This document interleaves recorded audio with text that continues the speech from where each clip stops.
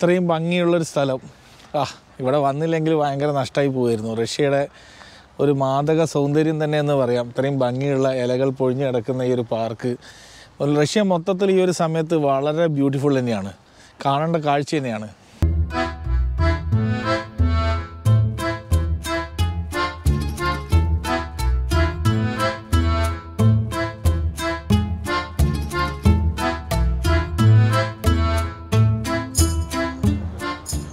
ചുറ്റും മഞ്ഞ ഇലകളുള്ള മരത്തിന്റെ ഒരു കൂട്ടം തന്നെയുണ്ട്. അതിനുള്ളിലായിട്ടാണ് ഈ ഒരു കത്തീഡ്രൽ ഉള്ളത്. ഇത് നിർമ്മാണ രീതി വളരെ മനോഹരം തന്നെ പറയാം. സൈഡിലൊക്കെ ആയിട്ട് ഒരുപാട് ചിത്രകാരന്മാരുണ്ട്. അവരുടെ ചിത്രങ്ങളൊക്കെ വിൽപ്പനയ്ക്ക് വേണ്ടി വെച്ചിരിക്കുന്നുണ്ട്. ഇത് നമ്മൾ യൂറോപ്പിലൊക്കെ പോകുമ്പോൾ സ്ഥിരമായിട്ട് കാണുന്ന ഒരു കാഴ്ച തന്നെയാണ്. തൊട്ടപ്പുറത്തൊരു നല്ല പാർക്കാണ്. ഒരാൾ ഇരുന്ന് കൊടുത്ത സ്പോട്ടിൽ തന്നെ അവരുടെ ചിത്രം വരച്ചുകൊണ്ടിരിക്കുന്നുണ്ട്. മനോഹരമായ പെയിന്റിങ്ങുകളൊക്കെ. ഇതാണ് അതിന്റെ ഫ്രണ്ട് സൈഡ് എന്ന് പറയുന്നത്. എൻട്രി സൈഡാണത്. പാർക്കുണ്ട്. പാർക്കാണ് അതിന്റെ ഒരു എൻട്രി. ആ ഗേറ്റിൽ നിന്ന് തുടങ്ങുന്ന വഴിയാണ്. ഇതിൽ നേരെ കത്തീഡ്രലിൽ അവസാനിക്കുന്നത്.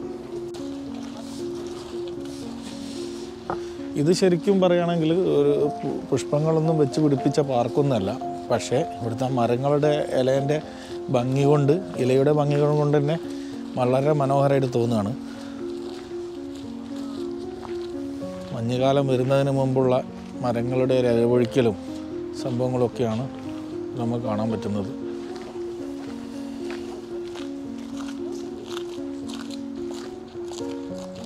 അത്രയ്ക്കും സുന്ദരം തന്നെ.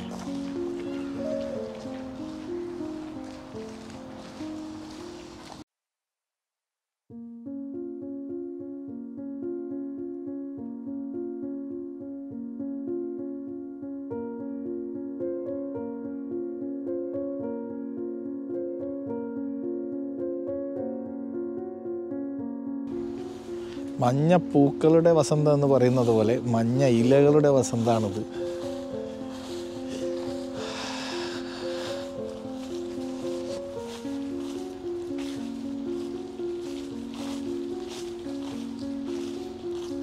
മുമ്പ് എനിക്ക് ഒരു ഇങ്ങനത്തെ ഒരു അനുഭവം ഉണ്ടായത്. നമ്മൾ ആംസ്റ്റർഡാമിൽ തുളിപ് ഗാർഡനിൽ പോയപ്പോഴാണ്. ഇത്രയും ഭംഗിയിൽ നല്ല ചിത്രീകരിക്കാൻ പറ്റിയും നല്ല ഭംഗിയുള്ള പുഷ്പങ്ങളൊക്കെ ഉള്ളത്. പക്ഷെ ഇവിടെ പുഷ്പങ്ങളൊന്നുമല്ല നമ്മൾ കാണുന്നത്. ഇവിടെ ഈ മരങ്ങളുടെ ഒരു പ്രത്യേകത തന്നെയാണ്.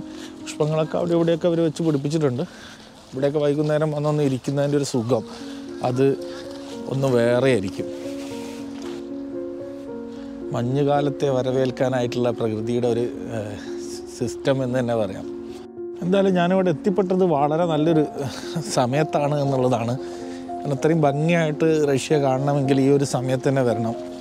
ഈ ഒരു സെപ്റ്റംബർ ഒക്ടോബർ മാസങ്ങളിലായിട്ട് ഇവിടെ വന്നു കഴിഞ്ഞാൽ തന്നെ. ഞാൻ അതിനടുത്ത മാസം വന്നു കഴിഞ്ഞാൽ ഫുള്ളായിട്ട് ഐസായിരിക്കും അപ്പോൾ അത് മാക്സിമം നമുക്ക് അത്രയും കാഴ്ചയൊന്നും ഉണ്ടാവില്ല. ബോറിംഗ് ആയിട്ടായിരിക്കും തോന്നുക. ഇതിപ്പോൾ ഒരു വസന്തമാണ് ഇപ്പോൾ കാഴ്ചയുടെ ഒരു വസന്തമാണ് А по-русски нет? По-русски говоришь? No no no no Russian only English А, Where are you from? India Uh, take a photo with me. No no no no no no time Why? They are waiting ഇതൊക്കെയാണ് ഇവിടുത്തെ ഇത് ജീവിതം കെട്ടിപ്പടുക്കാനുള്ള ഓരോരുത്തരുടെ തൊഴിൽ എന്ന് തന്നെ പറയാം പെയിൻറ് ശരീരം മുഴുവൻ പെയിൻ്റ് അടിച്ചിട്ട് പല പല രൂപങ്ങളായിട്ട് ഇവർ വന്നിരിക്കുന്നു മനോഹരമായിട്ടുള്ള കാഴ്ചകൾ തന്നെയാണ് ഇവിടെ. ഒരിക്കലെങ്കിലും ഇങ്ങനെയുള്ള സ്ഥലത്തെങ്കിലും നമ്മൾ വരണം. നമ്മൾ പോസ്റ്റർ കാർഡിൽ മാത്രം കണ്ട് ശീലിച്ച അല്ലെങ്കിൽ സീനറി ഫോട്ടോകളിൽ മാത്രം കണ്ട് ശീലിച്ച ഈ ഒരു സ്ഥലങ്ങൾ പ്രദേശങ്ങളിലൊക്കെ നമ്മൾ നേരിട്ട് എത്തണം. ഇവിടെ ഒരു കനാലാണ്. ഈ കനാലിനടുത്താണ് കനാലിനോട് ചേർന്ന് തന്നെയാണ് ഈ ഒരു നിർമ്മിതി എന്ന് പറയുന്നത്.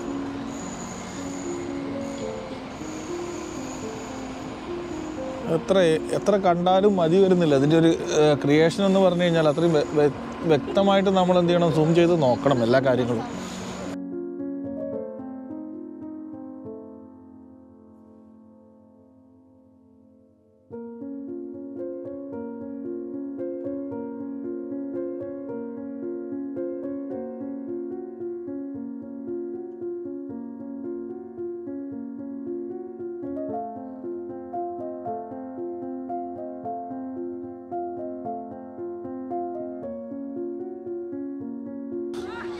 എത്രയും മനോഹരമായ വീതികൾ.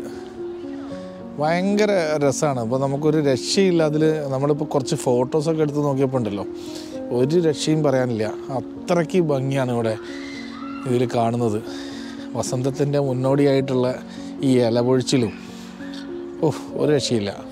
നിങ്ങൾ തന്നെ പറയുക വാവ് ഇപ്പോഴത്തെ നല്ലപോലെ ഒരു മെഡോസൊക്കെ മെയിന്റെയിൻ ചെയ്തിട്ടുണ്ട്. ഇത്രയും മനോഹരമായിട്ടുള്ള ഒരു ആംബിയൻസ് എന്ന് പറയുന്നത് റഷ്യയിൽ മാത്രമേ കിട്ടുള്ളൂ എന്ന് തന്നെ എനിക്ക് തോന്നുന്നത്. ഇത്രയും ഓട്ടം അതിന്റെ ഒരു ഭംഗി ഈ ഒരു ചെടികളുടെ ഭംഗി എല്ലാം കൂടി നോക്കുന്ന സമയത്ത് ബ്യൂട്ടിഫുൾ എന്ന് തന്നെ പറയാൻ പറ്റൂ.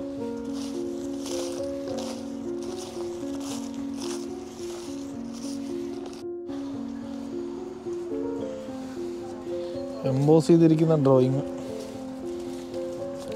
ലൈറ്റിങ് ഭയങ്കര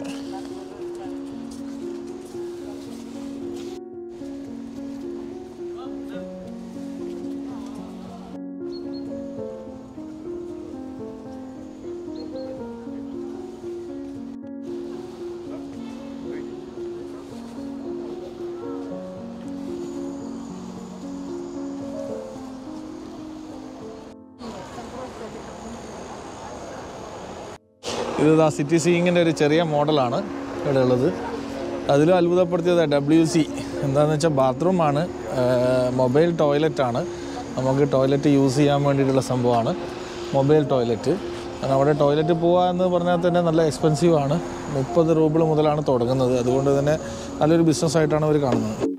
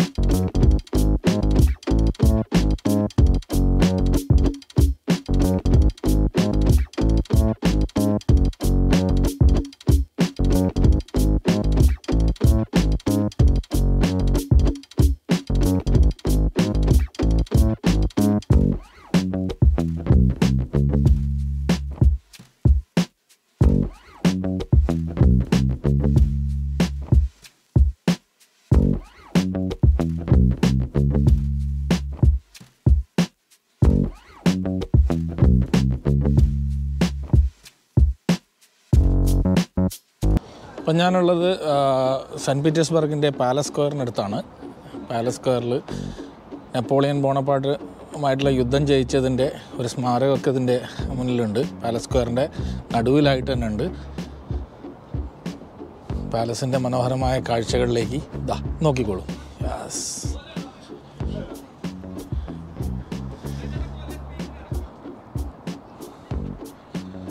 മനോഹരമായ പാലസ് സ്ക്വയറിന്റെ വ്യൂ. പിന്നെ നടുക്ക് നടുക്കിലായിട്ട് ഒരു മോണ്യുമെന്റ് ഉണ്ട്. ഏഷ്യൻ പോലീസാണ് ആ നടന്നു വരുന്നത്. നമ്മൾ പല സിനിമകളിലും ഒക്കെ കണ്ടിട്ടുള്ള അതേ യൂണിഫോം ഒക്കെ തന്നെ.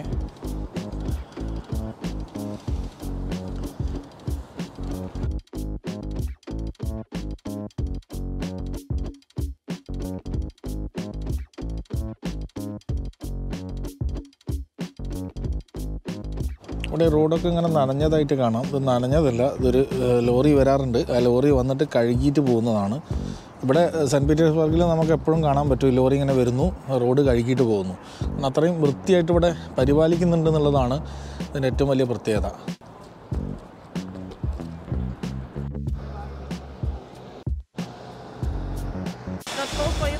No no no issue It's okay. Like it was not spicy at the restaurant for me. it's not cold, no. No cold, no problem. but the weather is nice. Mm. Uh, usually in this season it's much colder. Uh -huh. So we are lucky. But it is not it is not too, too cold, no? Only not five degree or six cold, degree, yes. something like that. So it is uh, not an issue. This is the Winter Palace, no? The Winter Palace. Mm -hmm. Okay. This is a monument. Uh, to Alexander's monument Oh. over victory uh, king is there, na? No king is there. Now, no. Nobody. Nobody. The camera. They leave. live, they live there for Ah. winter time. Okay. ഇതാണ് ഇപ്പോൾ ലോകത്തിലെ ഏറ്റവും വലിയ ഒരു മ്യൂസിയങ്ങളിലൊന്നായിട്ട് മാറിയിരിക്കുകയാണ് മറ്റേ മുമ്പത്തെ പാലസാണ് ഇപ്പോൾ ഹെർമിറ്റേജ് മ്യൂസിയം ആയിട്ട് മാറിയിരിക്കുകയാണ് നമുക്ക് കാണാം നമ്മുടെ ഗൈഡ് ആലിസ് കുറേയൊക്കെ ഒന്ന് വിശദീകരിച്ച് തന്നു നമുക്ക് ഈ ചരിത്രം തീരെ ഇഷ്ടമില്ലാത്തതുകൊണ്ട് നമുക്കതിനെപ്പറ്റി വലിയൊരു ഐഡിയ ഉണ്ടായിരുന്നില്ല. അതാണ് നെപ്പോളിയനുമായിട്ടുള്ള യുദ്ധത്തിന്റെ ഒരു മോണിമെന്റ് എന്ന് പറയുന്നത്. ഇതിന്റെ ഒരു ഹൈറ്റ് ഫുള്ളായിട്ട് മാർബിളിലാണ് അതിന്റെ മുൾഭാഗമൊക്കെ ഉണ്ടാക്കിയിരിക്കുന്നത്.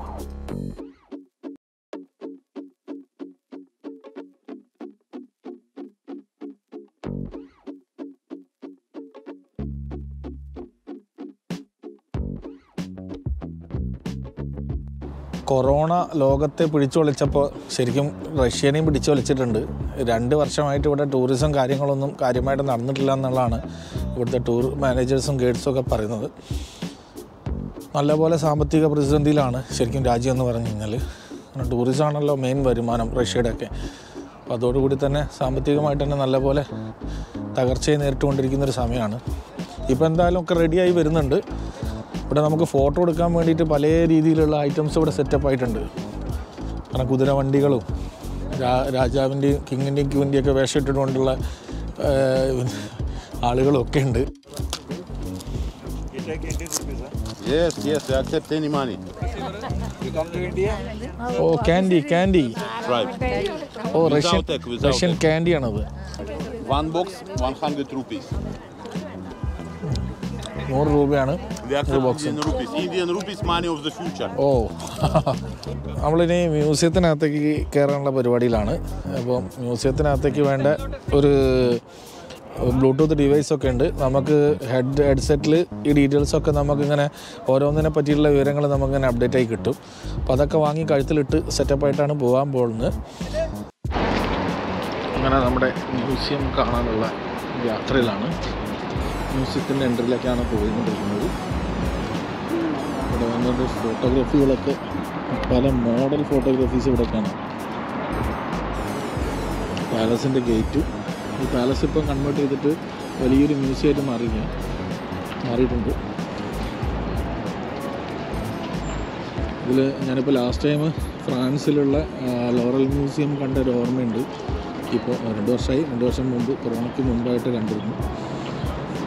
അത് തന്നെ ഒരുപാട് കാണാനുണ്ട്. അതിന് അതുപോലെ തന്നെയാണ് ഇത് വലിയൊരു മ്യൂസിയം ആണെന്നുള്ളതാണ് പറയുന്നത്. എന്തായാലും കയറി നോക്കാം നമുക്ക്. കല്യാണമൊക്കെ കഴിഞ്ഞിട്ട് വരുന്നുണ്ട്. വധൂവരന്മാർ വരുന്നുണ്ട്.